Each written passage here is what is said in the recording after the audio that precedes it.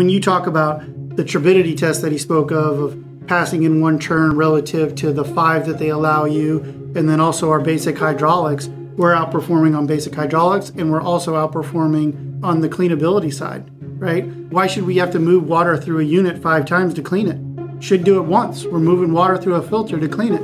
And that's what we've achieved with this cartridge filter. This is episode 204 with Todd and Steve of Aquastar Pool Products. Enjoy!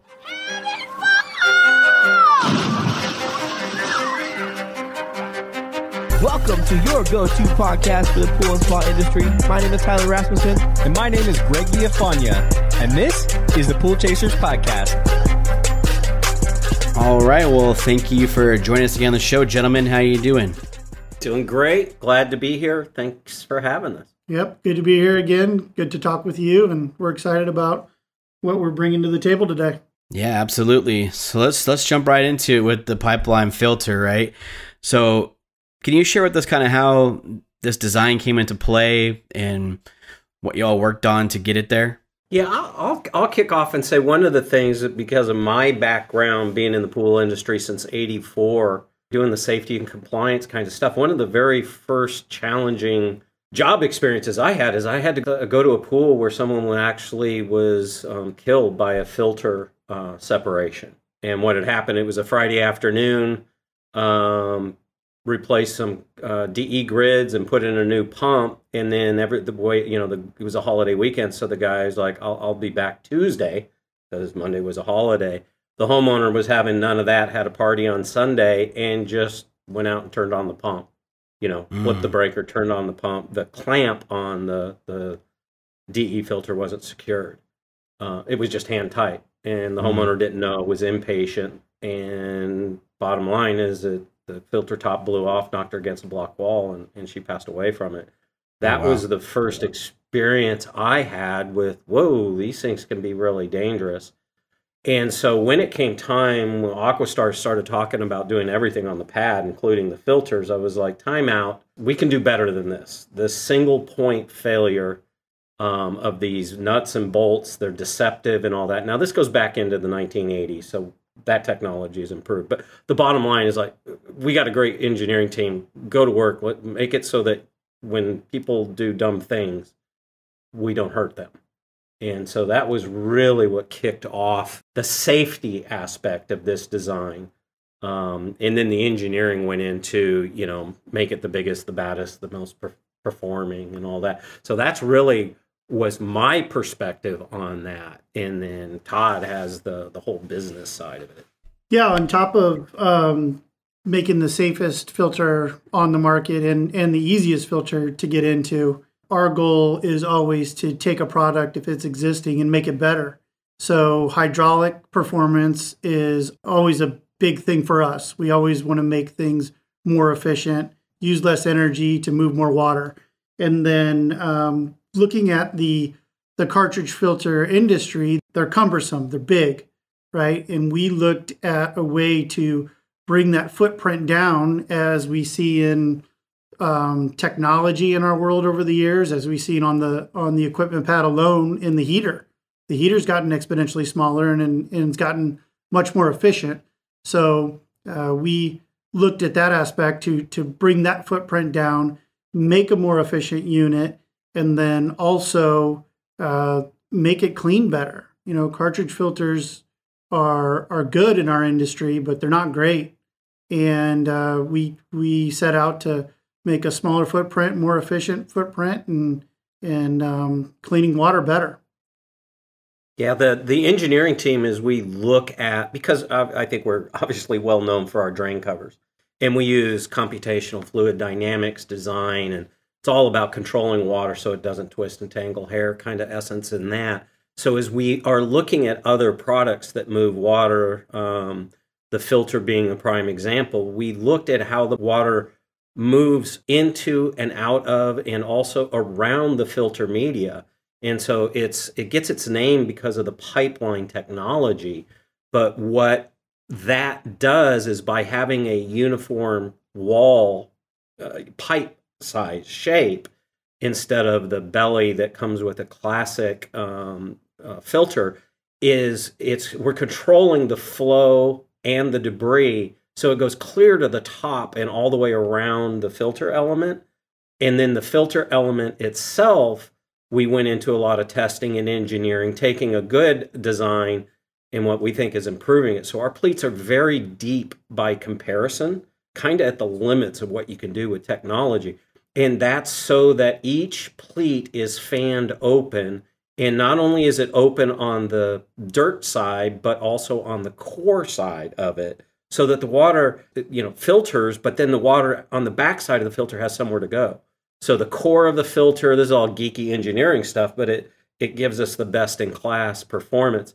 So the the core, instead of just doing what everyone else had been doing, is we looked and optimized that. So it's got 64% more open area directly behind these pleats that are also open. And so we're using every square inch of these filter medias, and that's how we get the the hydraulic performance and the cleaning performance of filters double the size. And because it's this pipeline shape, it has this very compact space on the pad. And there's been some, you know, misunderstanding or, or uh, it's new and anytime there's something new, but look no further than what's happened with the heaters. If you look at how big heaters were, certainly back when I started in the industry, they were two thirds of the pad. Um, and now they're much smaller. And so all of that's driven by you have a job to do, do it in the smallest package possible. And that has benefits all across for handling, shipping, uh, sustainability. You know, there, there's you want to get the job done, but you want to do it as economically and with as small a footprint as possible and that that's what this ended up delivering. Very nice. Yeah, I mean, when you think about technology, how it's advanced, right? The the variable speed pumps, the heaters, uh, filters, kind of been the same even since the '80s. You know, even since I started, cartridge filters have been the same 10 years ago, and I know beyond that, I see older filters, you know, that look exactly the same. So, makes sense to kind of take this area and try to upgrade that as well. There's interesting stuff going on. Um, I see an interesting trend, and this is kind of unfolding now. And um, for your listeners that don't know, I'm heavily involved in the Pool and Hot Tub Alliance. I chair the drain cover standard, but I'm also uh, the technical committee co-chair. So all of the ANSI standards that get public comments and things, even though I'm not a subject matter expert, I'm a party to. And so the um, public pool standard for operation and maintenance, it's brand new, that's in the final stages of ANSI approval. And it deals with public pool operation and maintenance. And one of the negative comments on that is it just has been using classic filter sizing that, you know, on cartridge filters, residential historically has been one gallon per square foot, and public pools is point three seven, a third of a gallon. Well, all of that I learned through really certifying, going to NSF and all this is none of that really is making any more of a difference than the old full rated, uprated, side rated stuff that we did with pumps. Those were all labels. The same thing kind of seems to be happening with the filters. Ultimately, you go through a NSF 50 certification test, and each filter gets a flow rating based on how well does it clean the water and then after it's cleaned the water can you clean the doggone thing you know can you get mm-hmm. the the yuck back out of the element it's a two part test and we're seeing that there's no correlation between those rule of thumb best practices if some would call it that have been around um, uh, as compared to the actual test results so this standard based on public comment from a professor and it's going to NSF, they're looking, and this happened already, is they're saying, ignore the square footage of your filter. What is its flow rate that you see on the label? And that's how you size it for public pool compliance. And you got to use the proper media and use the original cartridges or or whatever. So that's changing, and I I think it's striking me as the same thing that happened with the the pumps. Is we used to put a different label on it called two different that was kind of marketing stuff right. wasn't necessarily wrong but it wasn't right and i think the filters are headed down that that path now. Even absent that, um, are you know everybody who's involved in installing servicing filters, this information's on them already. So you can right now focus on what does the label say on the filter that you're servicing or going to replace. Compare that to what your pool operating flow rates are and select a filter based on that because a lot of these giant filters have no higher flow rating and that's why we open them up and find they're half clean you know mm-hmm. top half is is clean filter or back in between the back inside is all plugged up with debris and the outside's clean and so um, you know all of that will sort itself out as codes and standards change but in the meantime um, the information you need is on these filters and and this one's a good one and in yeah. layman's terms, it's uh, the cartridge filter is the next energy suck on the equipment pad that is going to be addressed. And we've done that with our unit. We've we have multiple patents on our unit. Um, again, from safety to hydraulic performance to cleanability. Um, we are relative to size, we are outperforming those units that are twice its size. And we like to say in our world, you know, it doesn't square footage doesn't matter if you can't use it. So usable right. square footage inside a cartridge filter is the most important thing. And that lends itself right back to what Steve was talking about basic performance. You cannot ignore basic hydraulics. The hydraulics are the hydraulics. And uh, and we've made a unit that is far superior relative to size and relative to even what's twice its size than than anybody else out there at this point. So what you're saying is Another bigger's not always better. Correct. Correct. We'll leave that there. We're going to take a quick break. When we get back, Steve and Todd discuss their NSF testing, the double locking thread, and the two different filter sizes. Hi, I'm Rich Gallo with PureSwim Los Angeles, and this is your skimmer tip of the week. Have you ever had a call that you didn't make a note? You go back the next week and you totally forgot that you were supposed to bring a temp sensor or whatever, and it's over. And the customer now wants to know what happened? Is the heater working? Oh, I forgot. I didn't record it. That never happens anymore. Now that I have Skimmer, I put that note in immediately when the customer alerts me, and it's locked in for the next visit, and it's done automatically. Thank you, Skimmer. To find out more, check out episodes 138 and 154 of the podcast, or go to getskimmer.com forward slash pool chasers. That's getskimmer.com forward slash pool chasers. Let's talk about the performance, dive down into that a little bit since we're already on that topic. You know, can you discuss your NSF testing data? Because I think that's pretty impressive for your unit. Yeah, that was uh, that was our first product certified, which is kind of scary given we're a drain cover company. Um, and so going through that was fascinating because I, I'd never I've been around the industry a long time, but never done a filter. And um, so the, the the basic way filters are tested, they got to be burst strong enough so they you know they don't explode and all of that kind of stuff of which we double in, double engineered that too. The limit, the you got to design for 100, but that's not good enough for Aquastar. They, we got to go pass at 200, or we're not happy. I love our engineers. um, uh, any uh, filter certified to NSF 50 is they do a tank full of yuck of dirt, sand, ball clay, baby oil, mix it up, stir it up, and then run it through the filter. And a filter has to clean up 70% of that mess in five turnovers. So that so you filter five times to finally get a pool pool filter clean. One that was a bit of an eye opener. The other thing is what was so fun about this is we did it in one turnover of the pool, and uh, my understanding from NSF, and they want to test competitors and all kinds of things to to prove it to show there's a better way kind of a concept is um, it's the first cartridge filter certified that has a, a, a, single turnover passing flow rate. The others in that category are DE filters. And I think they do better um, on a physics level in a single pass.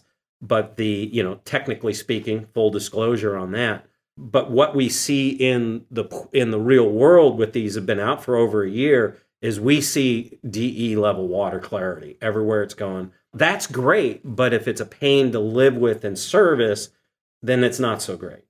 And so one of the nice things that also came out of the test is they have to do a cleanability test based on our instructions. And it's just a simple garden hose, stand back, run the garden hose so it sprays down each of the pleats, work your way around the filter.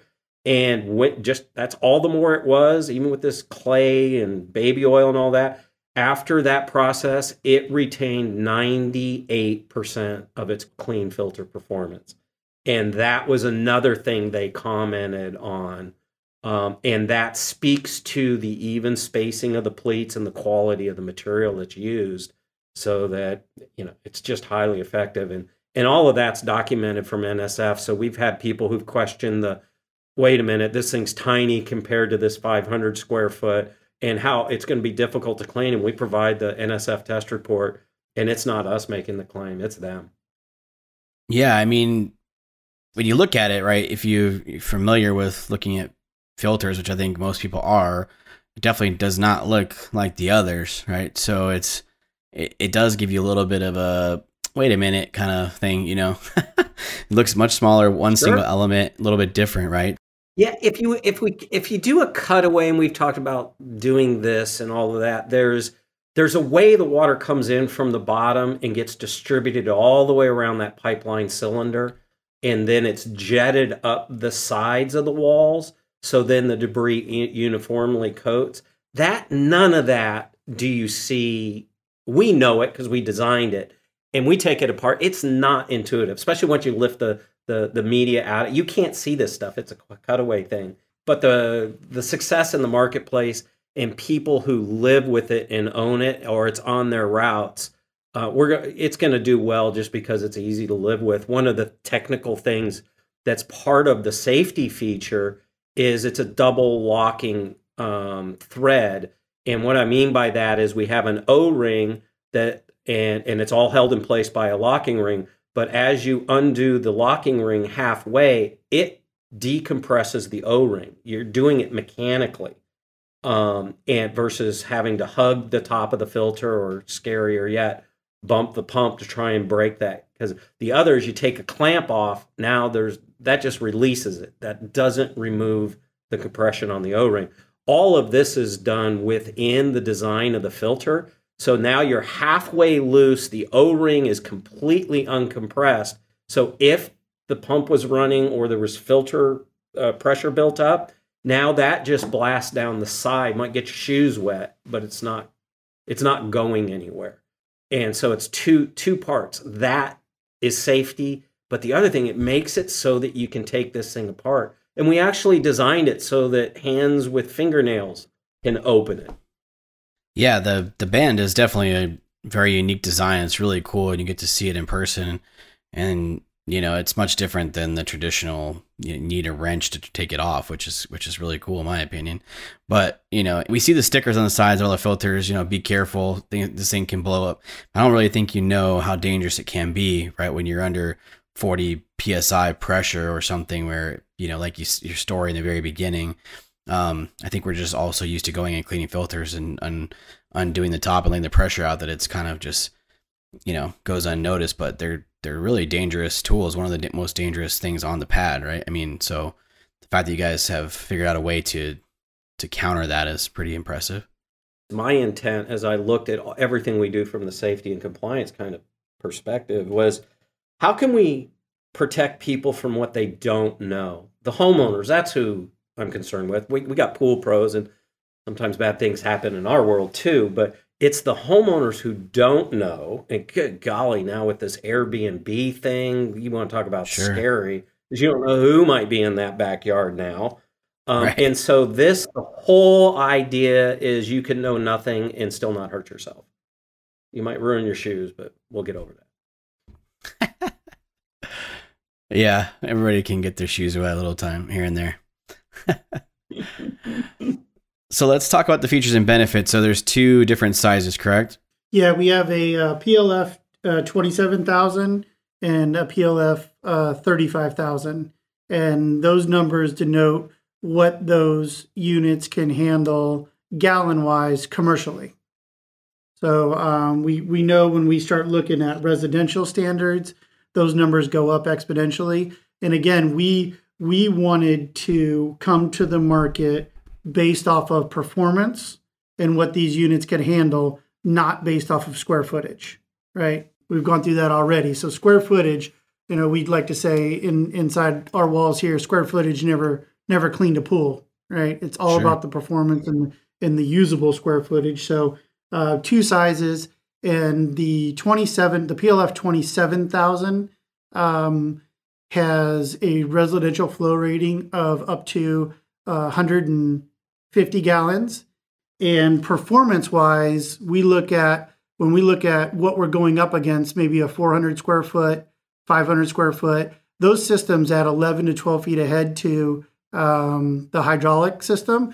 When our unit at 150 GPM only had four feet ahead to the system. So very, you know, outperforming the bigger units um, which doesn't make a whole lot of sense going back to the size of it, right? For what we've been taught in sure. our industry. So that is ab- absolutely, you talked about it earlier, a hurdle we're going to have to get over because we've been taught in our industry that square footage is king when it comes to um, cartridge filters, and it's just not the case. So we understand that that's a hurdle to get over to get over, but we have the we have the data that backs it up, and and the data the data is the data. So um, you know, looking at those two sizes, we feel like, you know, between our our mid level and our big filter, we can handle 99% of the pools out there. And then also we set the unit up that has a base where you can link these systems together in a uniform way, build a really simple manifold. If you do need to get into the bigger pools and up to 100,000 or even more, and you want to put a couple units on, you can do that very easily with this system. We we thought about that and we added that to um, the features and benefits of it as well. So um, um, everything from the the flow gauge to uh, the air relief valve um, to our protection skirt on the bottom um, and our PVC connections. We've we feel like we've kind of thought of everything on this unit um, for the ease of use for for the installer and then also the ease of use for cleanability for the service tech or whoever is getting in there to clean this unit. Yeah, and I, I hope your listeners are sitting down because I'm going to translate and simplify what Todd just said. Are you?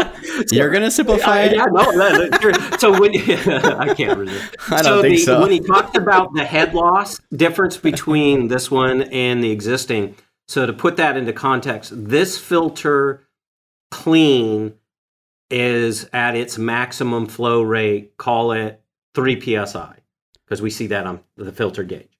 At the same flow rate, a 500 square foot is up 7 psi higher. So, brand new, out of the box. This one's much smaller, but it has 7 psi less head loss. So, when you're talking about variable speed pumps and how fast you have to run them, this filter, you can add 7 psi on the pressure gauge before you get to the speed one of these big ones takes brand new out of the box. So that's, you know, the that head loss translates into 7 psi and that's at the maximum flow at these giant pools. You know, day in and day out, these things are these filter gauges are running what, 7, mm -hmm. 10 psi at these high flow rates for spas and everything. So and then that's why the engineering matters. Yeah, and going back sure. to the the cleanability that he discussed, with we only lose two percent efficiency. I mean, we're we're seeing hydraulic numbers where we're better after one clean than these bigger units are out of the box. So oh, yeah, yeah absolutely. I mean, exponentially better. So um, really, hydraulically, just outperforming everyone by by a long shot. And when you talk about the turbidity test that he spoke of, of passing in one turn relative to the five that they allow you, and then also our basic hydraulics, we're outperforming on basic hydraulics and we're also outperforming on the cleanability side, right? Why should we have to move water through a unit five times to clean it? Should do it once. We're moving water through a filter to clean it. And that's what we've achieved with this cartridge filter. I think that's that's where cartridge filters have fallen short in our industry over the years. Is is um, they, they're they're cumbersome relative to to hydraulics because of whether it's manifolds or or elements that that they pack a ton of pleats into, or or the core is inefficient. To the fact that we've got to move water through them more than we should to clean water everything pretty much Aquastar focuses on is what is it like to own this product or our products? Um, how is it? We focus on the installer because if you install equipment, I don't care if it's underground, above ground, in water, at the pad, and you got to go back, you've just creamed your profit potential. Right. Our focus is to be successful out of the box um, obviously, we want safety and performance, but if we can focus on the details, Aquastar is known for its water stops and this engineering geeky stuff, but it's all about putting money in the contractor's pocket while making the pool owners happy. Yeah, definitely. I mean, I've all seen it. I think when you're if you're cleaning a lot, a bunch of filters like I have, you know, if there's a 500 square foot filter, like you said, Todd like the third, the top third of it isn't even being used, right? Because the plumbing and the pump can only move so much water so quickly. So you're not even really getting the benefit of having a larger filter. Some builders, right, they don't even really understand. They just think they're putting the biggest one on, you know, a 40,000 gallon pool and it, it, the plumbing and the hydraulics can't handle that. It doesn't really utilize that. So what you're saying really is that you've captured that and really figured out how to use the whole filter the correct way instead of just guessing and making a bigger one, you know, just for fun. Yeah, absolutely. And we're we're would that leads me right into the next pain point that we get relative to size is, hey, we're going to have to clean this more. Mm-hmm. And it is absolutely not true because again, we're using all of our square footage. When you talk about the bigger filters in the 500 square foot, 400 square foot, and you're opening these things up and and they're only using a third of it or only a third of it's dirty. So let's just say a 400 square foot relative to our 27,000 that has a 200 square foot element in it. You divide that in half. Let's let's give them let's give them half. They're using at least half. Well, we're right there with our unit, and we're using all of our square footage. So when it comes down to um, having to clean them more, you know, people are going to run out and they're going to they're going to hear this podcast and they're going to see these filters. Don't let the size fool you. You know, the hydraulic performance is there, the data is there. Um, and then also the fact that you absolutely are not going to have to clean these units more. You're going to think you are because that's what we've been taught. Put in a bigger unit because you won't have to clean it as much. Well, if we're only using a third of that unit anyway, when a third of that unit gets clogged up, your pressures are going to go up and you're going to have to clean it. And your pool is going to become inefficient. So um, that's another a hurdle that we're going to have to get over as a company on the education side, getting to the industry. But yeah, it is. I can't say it enough. That is absolutely true. That you do not have to clean our unit more than than you do any of the bigger units.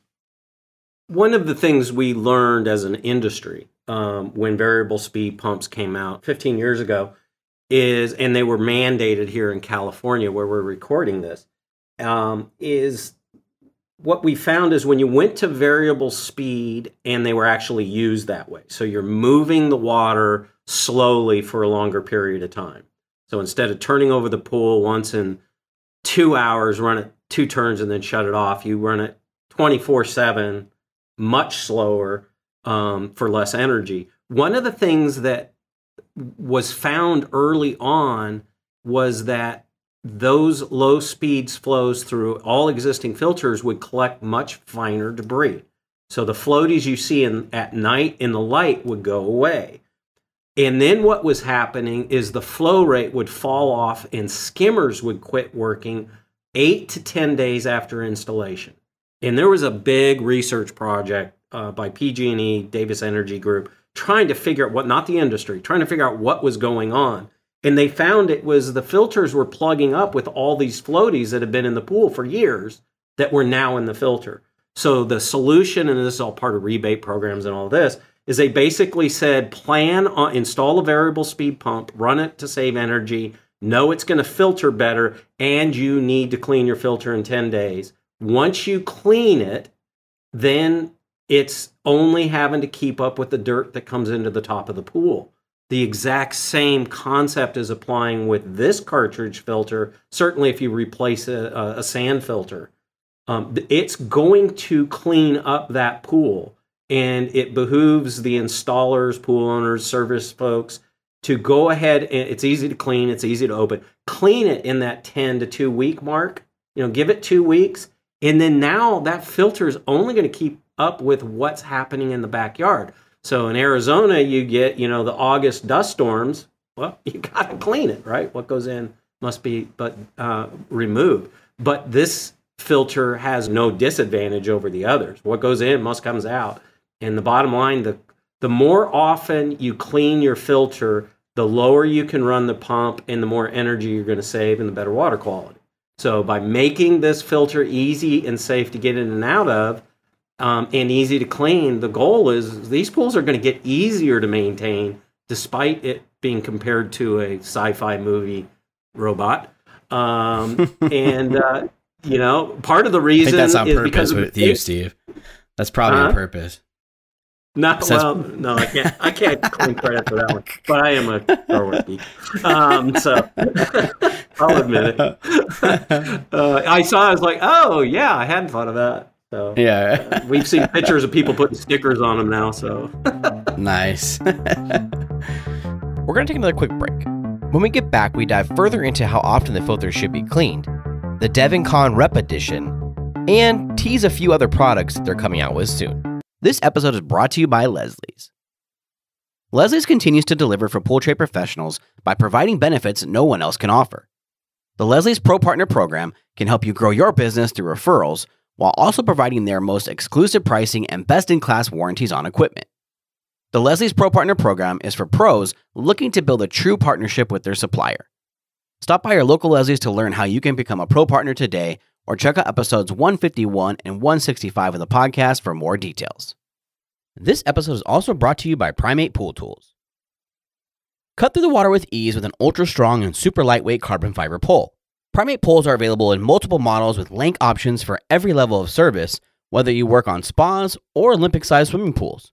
Their strength makes them ideal for heavy vacuums like Riptide, and their ultra lightweight makes cleaning any pool easier. All Primate poles are handmade in the USA, come with a commercial warranty, and are even available in custom prints. For more info, click the link below or go to primatepooltools.net. You can also use our special promo code PoolChasers2022 for $20 off. And to learn more about the guys behind Primate Pool Tools, check out episodes 104 and 199. I mean, yeah, you're right. So you look at it, and if it looks like a single element filter, typically you would want to clean those every couple weeks, right? Florida's pretty known for that, like you know, cleaning them once a month or something. But you know, with yours, you're saying it will work just like the others, and you can clean them about the same amount of time, right? So four to six months, whatever, like we normally do. I have, you know, yeah, I would say watch the pressure. I, I would, if you're an existing pool or says. startups, obviously we have to clean, yeah, you know, the, the, um, at startup or uh, with a new pool, obviously you got the plaster dust or, or Sure, whatever. sure, you sure. got it. But if you do an install, clean that filter like at two weeks. After that, watch the pressure rise because this thing handles a boatload of debris, a pool load of debris. Without the filter, you live with it. I mean it. And Yeah. so I, I believe you can try. It's, it can hold a lot of capacity, and the, the pressure gauge gives you your answer. The rubber boot on it even has an arrow. You set it when it's clean and brand new, and then it has a second arrow when it gets to, to 10 psi. And so I I think people are going to find they don't have to clean this any more often because it's so efficient at capturing dirt. Sure, I mean that, that's what every manufacturer says, but you know we go off the four to six month thing. but yeah, you're right. That's how you make more money, right? More filter cleans, more money. So, uh, but I Oh, like right. that you can Oh, do yeah, it. I'm sorry. I'll get you with, know. I'll get with the program. Yeah, yeah, yeah. uh, but no, I think I think it's cool We that, that it it can to keep up with be. those. Uh, we want it to be the service guy's choice, not sure, sure, sure. You know, we're trying to make your life as easy as we know how. Yeah, yeah. No, I think it competes with with all their major manufacturer ones and on that same rate of cleaning them. I think it's that's pretty impressive with the single element, you know, design. So I like it.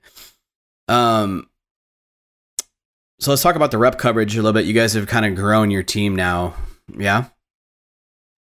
Yeah. So uh, really exciting. Uh, beginning um, uh, May first, we've uh, brought on Devin Kahn uh, across the country as our number one uh, rep group. Um, they come with a ton of experience, been in the industry for a really long time. Um, all of their salespeople have 15 plus years. There's a couple where they're fairly new to the industry, but uh, 15 plus years, some of them 25 plus years in our industry. They've handled white good lines before, um, and they are crazy excited about the equipment side that, that we're bringing to the table now. So um, we're really happy with bringing them on. We wanted to go a route where we've kept our message really consistent at Aquastar, and we've been able to control that message. And we know there are are companies out there that'll divide up their their line between different rep groups, uh, one for the West Coast, a different one from the East Coast.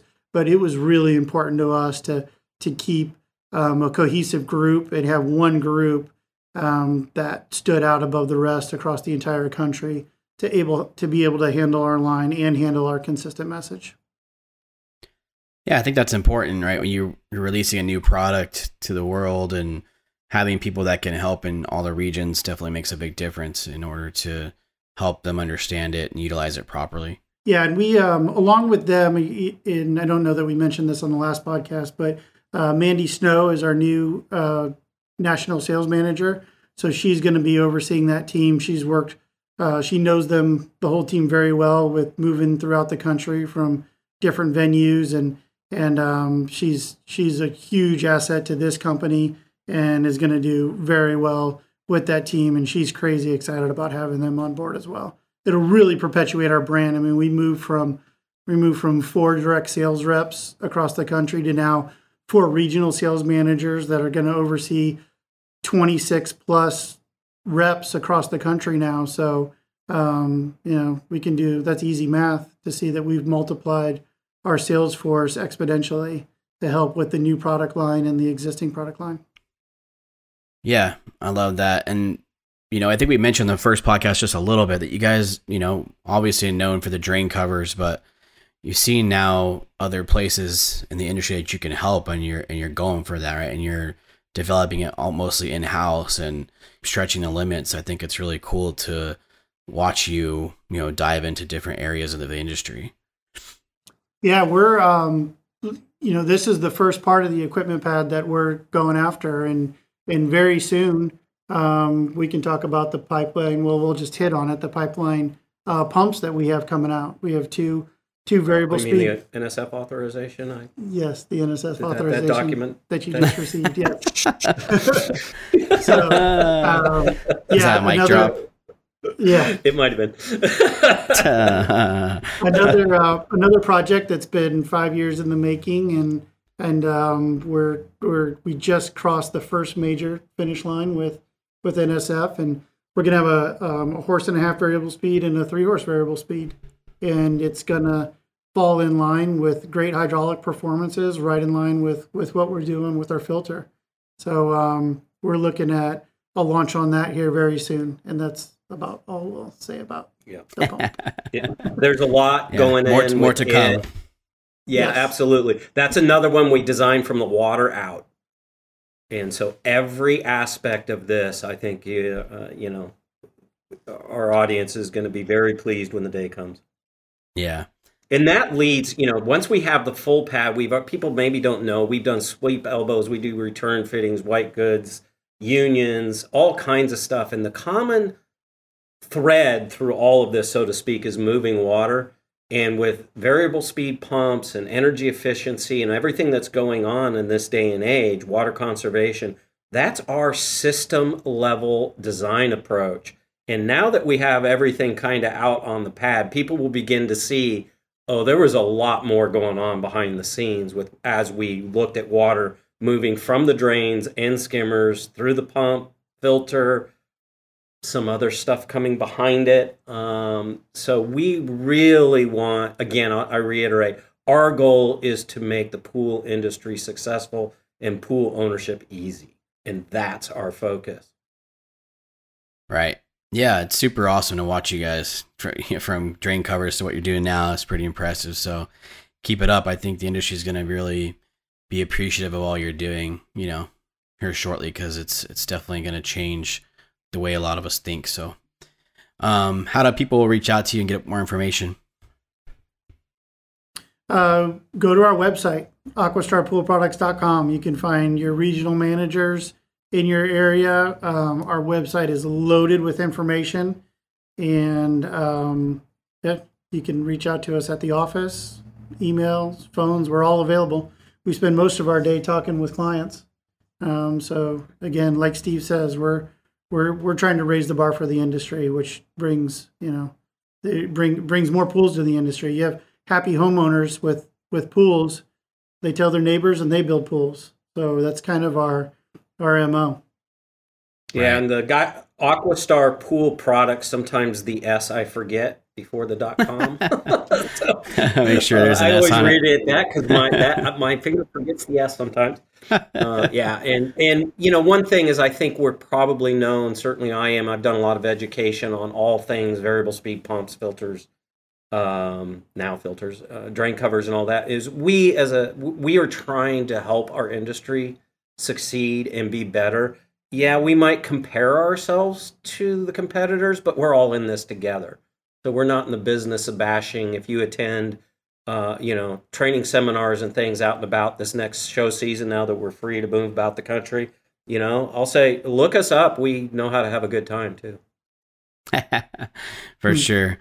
And next time I'm going to let Todd start the story because every time you start, Steve, there's some kind of death or you know, sad, sad story to start off the podcast. Sorry. uh, no, you're good. I'm just messing with you. Um, appreciate you both. always enjoy it. I always enjoy talking with you guys and developing a real friendship with you, and just love watching what you're doing. So, thanks again for being on the podcast. Yeah. Well, we love what you're doing for the industry. Yes, thank you. I, mean, I learn sure. a lot by listening to, to to your guests and what you guys do our industry is getting way better because of kinds of things you're and others are doing. I appreciate that. And we'll put all the links in the show notes for everything so you can get all the information. But we'll talk to you guys soon, hopefully about those pumps. yep. See you later. Thank you, sir. Bye. Hey, pool chasers. Thanks for listening. We hope you enjoyed the episode. To connect with today's guests, including pictures, links, and resources from everything discussed today, you can visit the episode page at poolchasers.com or click the links below. To connect more with us, you can find us on Instagram, Facebook, and Twitter by searching at Pool Chasers. If you would like to support the podcast, the easiest and most effective way is to subscribe to the show on Apple Podcasts, Spotify, and YouTube, as well as share the show or your favorite episode with a friend or on social media. Also, you can get early access to each episode by supporting us through Patreon. We know your time is valuable, so thank you for sharing some of yours with us today. See you out there, pool chasers.